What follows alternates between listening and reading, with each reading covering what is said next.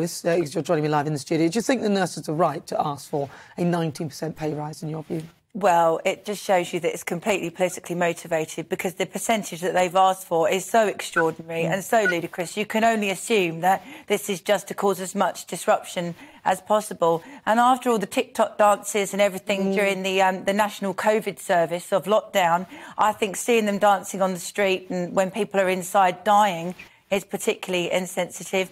We're all in a pickle. It's not their fault that the cost of living has gone up so much. It's because we're not energy independent. There's lots and lots and lots of reasons. 400 billion spent during lockdown, which the unions loved because they loved sitting at home doing absolutely nothing. So, yeah, I, um, they, they got a right to ask for better conditions and better pay, but certain professions should not strike, and that includes what are supposed to be, or what used to be, the caring profession. Well, let's go to Dr. Andrew Vallance. Uh, Dr. Andrew Vallance, what's your view on this?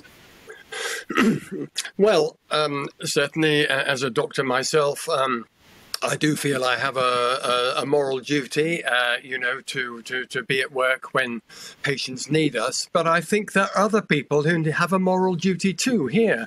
I think the government has a moral duty to look after its nurses who have done so much work for us over the last three years through COVID. The case they make, not the 19%, they've made a mistake there to mm. go for 19%, certainly. And I think that's naivety. I don't think it's a, they're not a political union. They really aren't.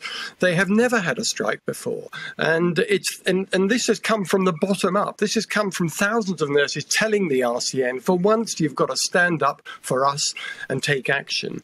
And uh, so I think they have a moral duty. But frankly, I think the review body award that they were awarded by this so-called independent review body, what was it, four four percent or something, was was morally wrong as well. They took more notice of the government evidence than they did of the nurses' evidence and they should come back to the table when we've seen this level of inflation with uh, and bring them back to the table.